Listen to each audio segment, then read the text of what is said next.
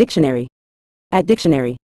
In a general sense, organic refers to substances, compounds, or materials derived from living organisms or produced through natural processes without the use of synthetic chemicals or artificial additives.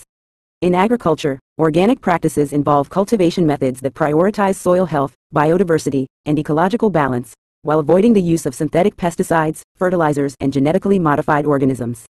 In food production, organic products are grown or produced without the use of synthetic pesticides, herbicides, or preservatives, and are often certified by regulatory bodies to meet specific standards ensuring their organic integrity.